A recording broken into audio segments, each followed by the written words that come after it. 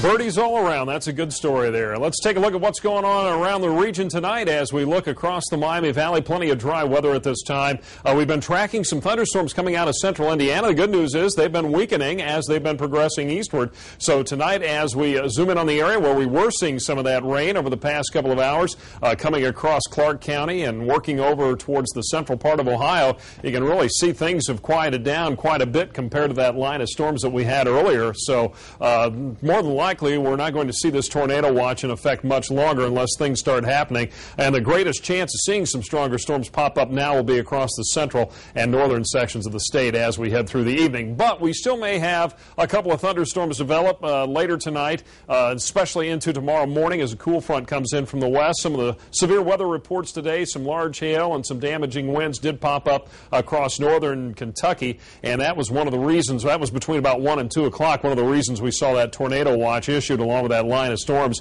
that was developing to the west of us. So we can't rule out a passing shower or thunderstorm at 7 o'clock through 11 o'clock, but temperatures will be cooling off 76 at 7 o'clock, 70 at 9 p.m., and then down to 68 at 11. And then tomorrow morning, expect to see that chance for some thunderstorms. A little better chance, I think, tomorrow morning, 63 at 8 o'clock, 66 at noon with the rain winding down, and by 5 o'clock, 69 and turning less humid. So finally, we'll see some improvement in that weather pattern uh, by the end of the day on Friday. Friday, and that'll set the stage for some nice weather going into the weekend. Your evening commute, a little bit of light fog still around the area with a relative humidity up, feeling more like summer, 62%, 78 degrees the current reading, and breezy. A south-southwest wind at 14, our high today 82 at 2.30, and this morning right around 2 a.m.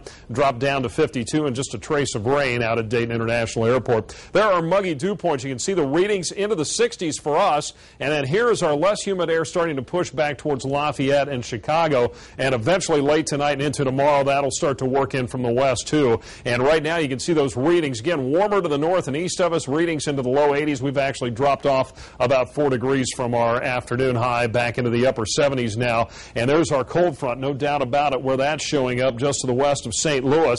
And that's what we'll be pushing into the area tomorrow morning. So along that front, we'll watch additional thunderstorms flare up tonight. This area will head northeastward late tonight and bring us that increased chance of rain again.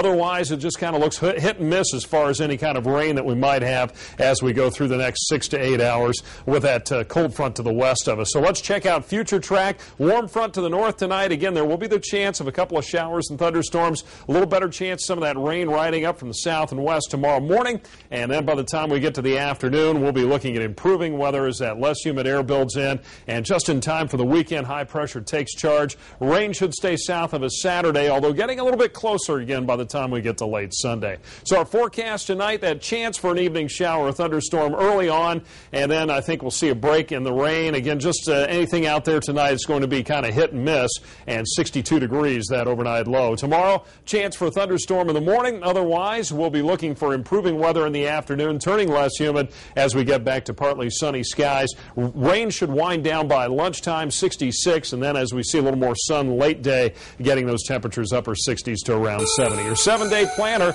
Weekend's looking good, up around 70 on Saturday with partly sunny skies, some increase in cloud cover Sunday, maybe a late day shower, but a better chance of those thunderstorms early next week on Monday, and then cooling off again on Tuesday.